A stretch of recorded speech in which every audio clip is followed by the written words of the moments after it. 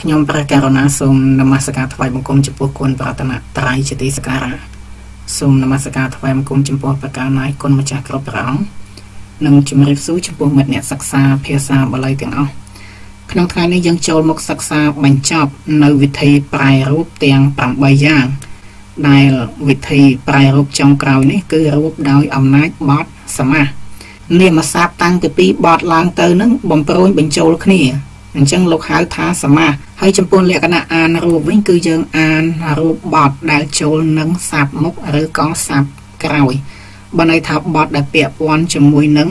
សមាសនោះវាអាចចូលនឹងខាងមុខឬក៏ខាងក្រោយនៃបត់សមាសនឹងណានៃសាបដែលដែលរួមគ្នានឹងវាមានបត់ដតីនឹងអាចជាប់ពាក់ព័ន្ធជាមួយនឹងវា គឺវាអាចថាពាក់ព័ន្ធនឹងខាងមុខឬក៏ពាក់ព័ន្ធនឹងខាងក្រោយ នៃបទសមាសនោះណានេះគឺជាចំណុចសំខាន់ដែលយើងត្រូវកំណត់ចំណាំអញ្ចឹង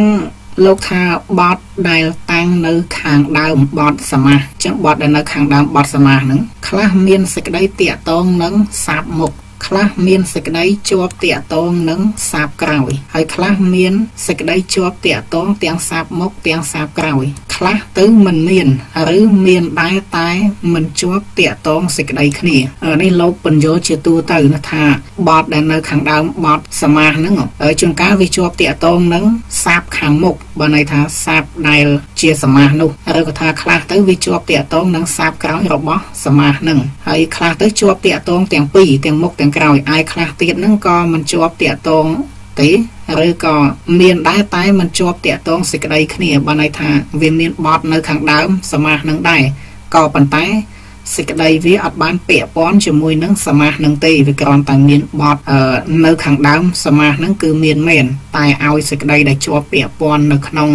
សាប់នៃសមាសនោះគឺវាអត់បានពាក់ព័ន្ធទេណាអញ្ចឹងចឹងមើលលោកកំណត់អឺ ដោយដាច់ស្រេចថាតើយ៉ាងម៉េចដែលត្រូវអានរូបនឹងណាអញ្ចឹងបទដែលជាប់តាកតងទាំងសាបមុខទាំងសាបក្រោយ និងបទដែលមិនជាប់តាកតងសេចក្តីគ្នា អ្នកប្រែមិនត្រូវរូបទេអញ្ចឹងបានន័យថាបទដែលជាប់តាកតងក្នុងសមាសទាំងពីរហ្នឹងបានន័យថាបទដែលនៅខាងដើមសមាសហ្នឹងចំការវាពាក់ព័ន្ធទាំងឯសាបមុខឬក៏សាបក្រោយ វាពាក់ព័ន្ធទាំងអស់ឬក៏មួយទៀតហ្នឹងវាមានប៉ុន្តែវាអត់ជាប់ពាក់ព័ន្ធនឹងសមាសនោះទេ គ្រាន់តែថាវាមានបទនឹងទៅតែបទនឹងអត់បានពាក់ព័ន្ធនឹងសមាសនោះទេអញ្ចឹងអ្នកប្រែគឺមិនត្រូវទាញរូបទេនៅក្នុងអធិការនេះលោកកំណត់យកតែ2ចំណុចប៉ុណ្ណោះគឺរូបគឺបទចូលនឹងសាបមុខនិងបត់ចូលនឹងសាបក្រោយ ដែលអាចរួបចូលនឹងបត់សមាសបាននេះគឺជាចំណុចសំខាន់ដែលយកជាការចាំបាច់ណាដែលយកជាសាច់ការ បានសេចក្តីថាសាបដែលលោកកំណត់យកក្នុងអធិការនេះ ដែលត្រូវអានរូបជាមួយនឹងបទសមាសនោះតលតែបទនោះចូលនឹងសាបខាងមុខបើន័យថាវាពាក្យពាន់នឹងសាបខាងមុខឬក៏ថាពាក្យពាន់នឹងសាបខាងក្រោយទើបអាចរូបចូលជាមួយនឹងបទសមាសនឹងបានឯចំណែកបទដែលជាប់តាកតងនឹងទាំងមុខទាំងក្រោយឬក៏ថាមិនជាប់តាកតងទាំងមុខទាំងក្រោយនឹងបទសមាសនោះទេដូច្នេះអានេះគឺអត់អានរូបទេអ្វីដែលយើងអានរូបតលតែបទនោះវាពាក្យពាន់ជាមួយនឹង សាបមុខឬក៏សាបខាងក្រោយនៃបទសមាសអញ្ចឹងយើងមើលថាបទសមាសដែលមានបទដតីចូលនឹងសាបខាងមុខបើន័យថារូបចូលនឹងសាបខាងដើម ខាងដើមនេះគឺសំដៅទៅលើខាងដើមសមាសនឹងហើយពាក្យថាសមាសគឺនាមសាបតាំងពីបទឡើងទៅនឹងបំប្រួយបញ្ចូលគ្នាអញ្ចឹងលោកហៅថាសមាសហើយបទដែលជាប់ពាក្យព័ន្ធនឹងសមាសនោះគឺវានៅខាងដើមបទនឹង បានន័យថានៅខាងដើមបទសមាសនៅក្នុងទីនេះលក្ខណៈទី1ដែលត្រូវអានរូបហ្នឹងគឺយើងរូបបទសមាសដែលមានបទដតីហ្នឹងចូលនឹងសាបខាងមុខបានន័យថាផ្នែកខាងដើមនៃសមាសហ្នឹងអញ្ចឹងយើងមើលឧទាហរណ៍ថារាជាថេរាងឧបសង្កមត្វាវន្តត្វាតាហិឧត្តរាសង្គានាងទិនភាវំបច្ឆត្វាតាហិទិនភាវញ្ចៈ ថេរេនៈកហិតភាវញ្ចៈសត្វាអ្នកនុបហន្តិអតិបហូនិវត្ថានិអេតកៃហេកੰករិសថាតិបច្ឆិអញ្ចឹងបទដែលជាប់តាកតងគ្នាគឺនៅម្ដុំនេះណានេះប៉ុណ្ណេះឥឡូវយើងចាប់ផ្ដើមប្រែសិនថារាជារីប្ររាជាឧបសង្កមិតវាត្រង់យាងចូលទៅរកហើយថេរាំងនៅប្រធេរៈ វន្តត្វាត្រង់ថ្វាយបង្គំហើយពុច្ឆត្វាត្រង់ត្រាស់សួរហើយតាហិអដ្ឋិហិឧត្តរាសង្គានាងតិនភាវៈនៅភាវៈនៃឧត្តរាសង្កៈទាំងឡាយជាវត្ថុគឺស្ត្រីទាំងឡាយនោះប្រកេនហើយសត្វាត្រង់ព្រះសន្តាបហើយតាហិអដ្ឋិហិ តិនភាវៈចៈនៅភាវៈនៃឧត្តរាសង្កៈទាំងឡាយនោះ ជាវត្ថុគឺស្ត្រីទាំងឡាយនោះប្រកេនហើយផងថេរេនៈកៈហិតភាវៈចៈនៅភាវៈនៃឧត្តរាសង្កៈទាំងឡាយនោះ ជាវត្ថុគឺប្រថេរៈ ទទួលយកផងបុច្ឆិត្រង់ត្រាស់សួរហើយអ្នកនុលៈករិសថៈអិតិថាដូច្នេះជាខ្ញុំប្រែលេខក្នុងថាបហនទេបពិតលោកម្ចាស់ដ៏ចម្រើន អ្នកនុក្រែងវត្ថានិរីសម្ពុតទាំងឡាយអតិពហូនិមានចំនួនច្រើនក្រៃហន្តិមានឬតំហេរីព្រះអង្គករិសថៈនឹងធ្វើកੰងនៅអវ័យអេតកេហិវត្ថេហិ ដោយសម្ពុតទាំងឡាយមានប្រមាណប៉ុណ្ណេះឥឡូវយើងចាប់សង្កេតមើលកន្លែងដែលយើងរួបនេះតើរួបដោយអំណាចអ្វីខ្លះអញ្ចឹងក្នុងទីនេះយើងសិក្សាទៅលើការប្រែរួបដោយអំណាចបត់សមាសអញ្ចឹងទិន្នភាវៈនេះគឺជាប្រភេទសមាសហើយតាហេនេះគឺត្រូវសម្ព័ន្ធចូលក្នុងទិន្នៈនេះដែលអឺទិន្នៈនេះគឺជាប្រភេទនៃ សមាសដែលជាប់គ្នាជាមួយនឹងភាវៈនេះដែលបានមកជាទិន្នភាវៈនេះគឺជាប្រភេទសមាសហើយតាហេនេះត្រូវសម្ព័ន្ធចូលក្នុងផ្នែកខាងដើមនៃសមាសនឹងដែលទិន្នៈនឹងគឺជាផ្នែកខាងដើមនៃសមាសដូច្នេះហើយបានជាលោកថាតាហេដែលរូបចូលក្នុងទីនេះគឺរូបចូលផ្នែកខាងដើម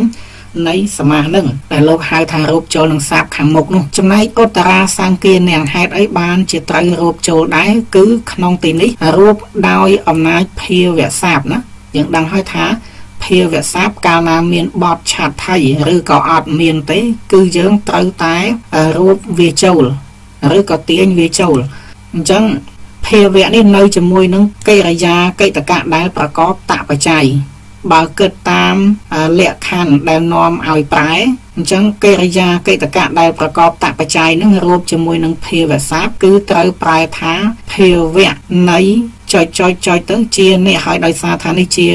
អតរាសង្កេតនេះជាវត្ថុជារបស់ប្រើប្រាស់យើងថាជាវត្ថុអញ្ចឹងទៅនេះលក្ខខណ្ឌឲ្យប្រែហ្នឹងគឺនៅក្នុងលក្ខខណ្ឌទី3ឯ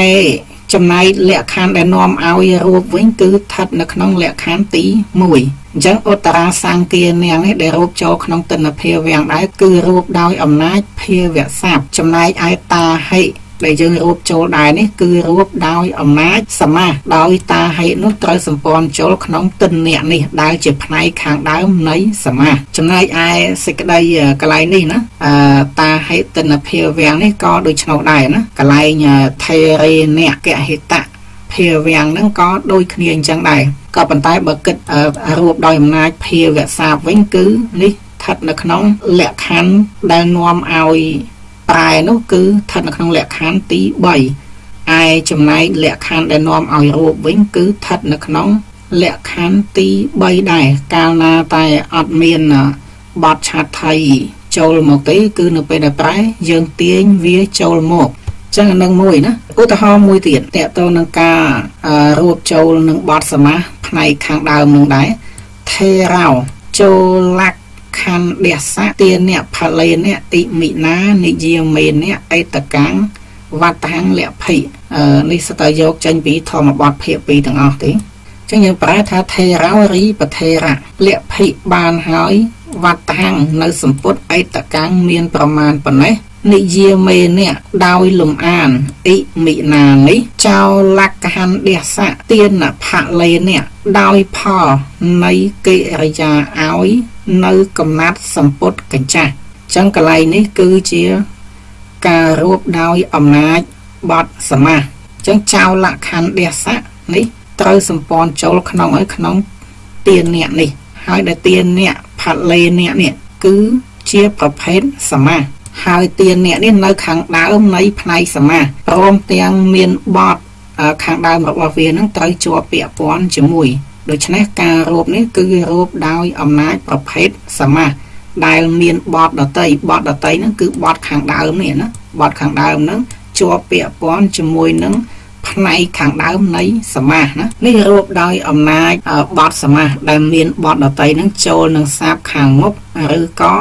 សាបខាងដើមឥឡូវយើងមើលមួយទៀតណាតាកតងទៅនឹងបត់សមាសដែលមានបត់ដតីចូលនឹងសាបខាងក្រោយណា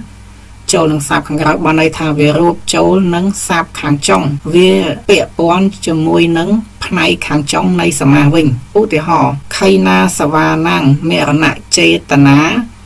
នាមណតៃភិក្ខវេចឹងកន្លែងនេះជាប្រភេទដែលសមាសនឹងជាប់ពាក់ព័ន្ធគ្នា ជាងប្រើថាភិក្ខវេមនាលភិក្ខុទាំងឡាយខៃណាសវាណាំងមរណៈចេតនានាមៈឈ្មោះថារីចេតនាជាគ្រឿងសម្លាប់នៃប្រខៃណាស្រោបទាំងឡាយណាថេមិនមានទេចឹងយើងមើលកន្លែងហ្នឹងណាថាខៃណាសវាណាំងនេះគឺវាពាក់ព័ន្ធជាមួយនឹងចេតនានេះឲ្យដឹងថា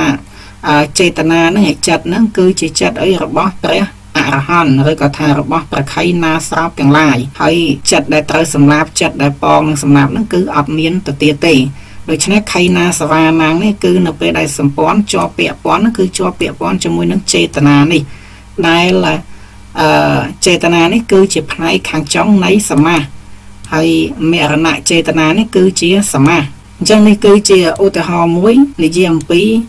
បទសមាសដែលមានបទដតីជាប់ដោយផ្លូវសម្ព័ន្ធដែលបទសមាសនោះមានបទដតីនឹងត្រូវជាប់ពាក់ព័ន្ធជាមួយនឹងផ្នែកខាងចុងនៃសមាសយើងមើលឧទាហរណ៍មួយទៀតណាមយិចិត្តតាបសាតេនៈនពតភាវាំងអាចខេសតិអញ្ចឹងប្រើយើងថែមមកថាអសោទេវពតតោរីទេវបុតនោះអាចខេសតិនិងប្រាប់មយិចិត្តតាបសាតេនៈ នពតភាវាំងនៅភាវៈនៃខ្លួនជាអ្នកកើតហើយដោយសេចក្តីជ្រះថ្លានៃចិត្តចំពោះតថាគតអញ្ចឹងយើងចាប់ដើមមើលកន្លែងនេះតើកន្លែងណាជាបទសមាសនេះគឺជាប្រភេទបទសមាសហើយនេះក៏ជាប្រភេទបទសមាសដែរអញ្ចឹងមយិនេះមយិនេះគឺពាក្យព័ន្ធជាមួយនឹងអីពាក្យព័ន្ធជាមួយនឹងចិត្តតាបភាសាតេអ្នកនេះ ចិត្តតាភាសាតេអ្នកនឹងឲ្យដឹងថាដោយសេចក្តីជ្រះថ្លាជ្រះថ្លានឹងជ្រះថ្លារបស់អីជ្រះថ្លារបស់ចិត្តហើយការជ្រះថ្លានឹងចំពោះនរណាថាចំពោះព្រះតថាគតអញ្ចឹងមយិនេះគឺជាអធិរៈក្នុងភាសាតេនៈហើយដែលចិត្តតាភាសាតេនៈនេះគឺជាប្រភេទសមាសហើយបទដែលត្រូវចូលនេះគឺមយិដែលត្រូវចូលនេះចូលនឹងផ្នែកខាងចុងនៃសមាសនឹងណាអញ្ចឹង កន្លែងរូបកន្លែងហ្នឹងណាត្រឹមប៉ុណ្ណឹងគឺមយិនេះរូបដោយអំណាចសមាសដែលចូលនឹងផ្នែកខាងចុង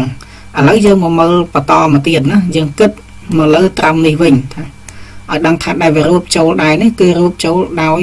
អំណាចអីនៅក្នុងទីនេះចាប់ពីចិត្តតាបសាតេអ្នកដល់នៅពតៈនេះការដែលរូបពាក្យព័ន្ធនោះពាក្យព័ន្ធដោយអំណាចសមាសដែលរូបចូលនឹងផ្នែកខាងដើមយើងគិតពីត្រឹមចិត្តតាបសាតេអ្នកដល់ នៅពតៈភាវាំងនេះនៅពតៈភាវាំងនេះជាប្រភេទសមាសហើយក្នុងទីនេះចិត្តតាបសាតេអ្នកត្រូវសម្ព័ន្ធចូលនៅក្នុងនៅពតៈ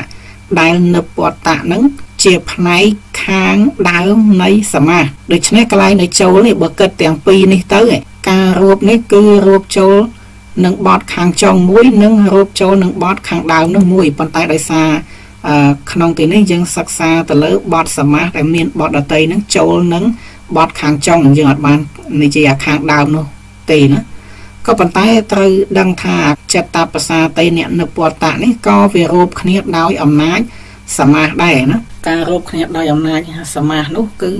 ពាក់ព័ន្ធជាមួយនឹងផ្នែកខាងដើមណាពីត្រង់ចិត្តតាបសាតេនិម្ដងនៅពតៈនេះរួបដោយអំណាចសមាសដែលជាផ្នែកខាងដើម អាយចាប់ពីមយិត្រង់ចិត្តតាបសាតេនិនេះ គឺរួបចូលនឹងបទសមាសផ្នែកខាងចុងហើយមួយទៀតណាគឺពាក់ព័ន្ធជាមួយនឹងការរួបដោយអំណាចភាវសាទៀតណាហើយដែលយើងថែមឯងភាវៈនៃខ្លួននោះដែលយើងថែមឲ្យនៃខ្លួននឹងចូលមកគឺដើម្បីឲ្យស្របទៅនឹងលក្ខខណ្ឌដែលនាំឲ្យ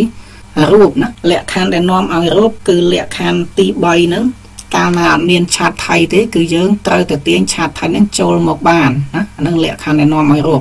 ហើយដែលប្រែទៅចេញជាអ្នកជាអីហ្នឹងគឺស្ថិតនៅក្នុងលក្ខខណ្ឌដែលនាំឲ្យប្រែដែលលក្ខខណ្ឌនាំឲ្យប្រែនោះកាលណាបើវាតបច្ច័យណាក្នុងទីនេះវាតបច្ច័យនៅពតតហ្នឹងយើងត្រូវប្រែចេញថាភាវៈនៃទៅចុចចុចចុចជាអ្នកចុចចុចអញ្ចឹងទៅណាចឹងក្នុងទីនេះគឺមាន2 3ប្រភេទនៃវិធីប្រែរូបដែលនៅពាក់ព័ន្ធក្នុងនឹងណា ឥឡូវយើងទៅមើលឧទាហរណ៍បន្ថែមទៀតណានៅក្នុងកម្ពីផ្សេងផ្សេងទៀតដែលខ្ញុំគណៈខ្ញុំបាទបានលើកឡើងណាអញ្ចឹងយើងមកមើលកម្ពីនេះគឺនៅក្នុងកម្ពីមង្គលសោតភាគ4ទំព័រ18ណាចឹងយើងមើលម្ដុំនេះចឹងចាប់ពីសារហូតដល់នេះបាបនិនេះយើងមើលត្រឹមហ្នឹងណាចាប់ពីសារហូតដល់បាបនិនេះចឹងយើងអានថាសាវិរវន្តៃឧតកេនៈវិហមានី អត្តហអរតយ៉ាងពោធិសត្តាសៈសាលាសម័យបាំងបាបនិអញ្ចឹងកន្លែងណាជាប្រភេទដែលពាក់ព័ន្ធជាមួយនឹងបទសមាសគឺកន្លែងនេះណាពោធិសត្តាសៈហើយនឹងសាលាសម័យបាំងនេះណាដែលជាប់ពាក់ព័ន្ធជាមួយនឹងប្រភេទជាសមាសដូច្នេះយើងប្រែសិនថាអាសារីនាងវិរវន្តីកាលស្រែកឧតកេនៈវិហៈមានាគឺទឹកកាលបនសាទទៅ បាបនិដល់ហើយពោធិសត្តាសៈសាលាសម័យបាំងនៅទីចិត្តនៃសាលារបស់ព្រះពោធិសត្វអត្តរតយ៉ាងក្នុងកណ្ដាលនៃរាត្រីចឹងយើងមើលថាតើពោធិសត្វតាសៈនេះចូលនៅក្នុងណាអញ្ចឹងនាងនឹងទៅដល់ណាទៅដល់ទីចិត្តទីចិត្តនឹងទីចិត្តនៃអីទីចិត្តនៃសាលាហើយសាលានឹងសាលារបស់អ្នកណាគឺសាលារបស់ពពោធិសត្វណា ដូច្នេះពោធិសត្វតាសៈនេះជាសាមិសម្ព័ន្ធក្នុងសាលានេះណាសម្ព័ន្ធចូលគឺត្រឹមនឹងហើយដែលឡើងសាលាសម័យប៉ាងនេះណាគឺជាប្រភេទសមាសដូច្នេះការរួបនេះគឺរួបដោយអំណាចសមាសដែលចូលនឹងសាបខាងដើមឬក៏សាបខាងមុខនឹងមួយឯកន្លែងឧតកេនៈវិហមានានេះគឺយើងរួបដោយអំណាចអីដោយអំណាចប្រយោគមេត្រាណាក្នុងទីនេះគឺបឋមាមេត្រា ហើយប្រយោគមេត្រា គឺកិរិយាក្រិតរបស់វាប្រកបដោយបច្ច័យ7មានតអន្តមានអ្នកអញ្ចឹងទៅហើយការដែលវាឲ្យរូបហ្នឹងគឺទី1វាមានថ្វាបច្ច័យនៅខាងដើមឯទី2ហ្នឹងមានបទអនៈភិហេតកតាហ្នឹងនៅខាងដើមក្នុងទីនេះគឺមានអនៈភិហេតកតាគឺឧតកេអ្នកនេះអញ្ចឹងកន្លែងនេះរូបដោយអំណាចមេត្រាដែលជាបឋមាមេត្រា អាយពោធិសត្វតាសៈសាលាសម័យប៉ាំងនេះរូបដោយអំណាចសមាសដែលចូលនឹងសាបខាងដើមចឹងយើងទៅមើលឧទាហរណ៍បន្តទៅទៀតណានេះនៅក្នុងធម្មបទភាគ1ទំព័រ10ណាយើងមើលចាពីកន្លែងនេះមកចាពីសាលហុកវតតិណៅនឹងមកដល់កន្លែងនេះដល់កន្លែងនេះនាមៈនេះណានាមាតិនេះចឹងយើងដកអតិចោលទៅនៅតែនាមៈនឹងប៉ុណ្្នឹងបាន ចឹងយើងអានប្រយោគនឹងសិនថាអាសាលហុកវុតិណោបណៈបន្តសេនាសនាភិរតាសៈអត្តភាវេខយវៈយ៉ាងបដ្ឋបេថ្វាសាតចៈកិរិយាវសេនវិបស្សនាវត្ថេត្វាអរហតតកហនន្តិអិទាំងវិបស្សនាធុរាំងនាមៈអញ្ចឹងយើងចាប់ផ្ដើមប្រែណាថាបណៈកឯ អត្តភាវេខយវយ៉ាងបដ្ឋបេថ្វាសាតច្ចកិរិយាវសេនវិបស្សនាវត្ថេត្វាអរហតកៈហណੰរីកិរិយាតាំងទុកនៅកិរិយាអស់ទៅ និងកិរិយាសូន្យទៅ ក្នុងអត្តភាពហើយចម្រើននៅវិបស្សនា ដោយអំណាចនៃកិរិយាធ្វើឲ្យរឿយរឿយហើយចាប់យកបាននៅ ព្រះអរហន្តចឹងយើងថែមកភិក្ខុណៅនៃភិក្ខុបន្តសេនាសនាភិរតសៈដែលត្រេកអរហើយក្នុងទីដេកនិងទីអង្គុយដ៏ស្ងប់ស្ងាត់សាលហុកវុតិណោអ្នកមានកិរិយាប្រព្រឹត្តស្រាលជាប្រក្រដីអិតិប្រហេតុនោះអិទាំងធុរាំងរីធុរៈនេះវិបស្សនាធុរាំងនាមៈឈ្មោះវិបស្សនាធុរៈ ដូច្នេះការរូបនេះគឺរូបដោយអំណាចភាវសាធនៈមួយនិងរូបដោយអំណាចសមាសនឹងមួយណារូបដោយអំណាចភាវសាធនៈដោយសារអីដោយសារកហណៈនេះគឺជាអឺពួកធាតដែលចុះយុបច្ច័យណាជាភាវសាធនៈហហើយកាលណាមានពួកត្វាបច្ច័យនេះនៅខាងដើមគឺវាត្រូវតែទាញរូបចូលក៏ប៉ុន្តែណាអឺ បត់ត្វាបច្ច័យដែលទាញរូបចូលនេះគឺវាទាញមកចូលចូលជាមួយនឹងអីមកគឺវាពាក់ព័ន្ធជាមួយនឹងបត់ដែលវាត្រូវចូលនេះគឺជាបត់ប្រភេទសមាសហើយបត់ប្រភេទសមាសនេះពួកថ្វាបច្ច័យដែលត្រូវចូលនោះគឺវាចូលផ្នែកខាងចុងនៃបត់សមាសដូច្នេះការរួបកន្លែងនេះរូបចូលដោយអំណាចសមាសនឹងគឺរូបចូលផ្នែកខាងចុងនៃបត់សមាសឬក៏ផ្នែកខាងក្រោយនៃបត់សមាស និយាយជារួមមកគឺការរោគក្នុងទីនេះ គឺមានពីរទី1រោគដោយអំណាចភាវសាធនៈនិងទី2រោគដោយអំណាចបត់សមាសដែលចូលនឹងសាបខាងក្រោយឬក៏សាបខាងចុងណាដូច្នេះឧទាហរណ៍ដែលបានលើកឡើងនេះគឺជាឧទាហរណ៍បន្ថែមទៅលើ វិធីប្រែរូបដោយអំណាចសមាស ដែលជាវិធីបញ្ចប់នៃការប្រែរូបទាំង8យ៉ាងនឹងអញ្ចឹងការប្រែរូបដោយអំណាចបត់សមាសដែលជាវិធីប្រែរូបចុងក្រោយនេះគឺ មានប្រមាណប៉ុណ្ណេះហើយសូមបកណាគុំម្ចាស់និងមិត្តអ្នកសិក្សាហ្នឹងគឺសូមព្យាយាមមើលឧទាហរណ៍ដែលខ្ញុំកណាខ្ញុំបាទនេះបាន លើកឡើង ជាបន្តបន្ទាប់ហ្នឹងគឺនឹងបានយល់ហើយអំពីវិធីប្រែរូបដោយអំណាចបត់សមាសនេះ ចឹងចុងបញ្ចប់នេះខ្ញុំបកណាខ្ញុំបាទសូមនមស្ការលាសូមជម្រាបលានិងអរគុណច្រើន